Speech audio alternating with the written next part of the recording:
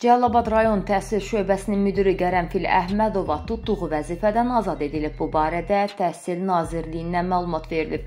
Xatırladaq ki, zaman-zaman mətbuatda tənqid atəşinə tutulan Qərənfil Əhmədova rayonun eks-icra başçısı hazırda həbsdə olan Namiq Zeynalovun pul daşıyan tərəfdaşı kimi tanınırdı. Rayonun təhsil müəssisələrini şəxsi obyekt hesab edən xanım müdiri haqqında kifayət qədər fakta əsaslanan məlumatlar dərc edilmişdi.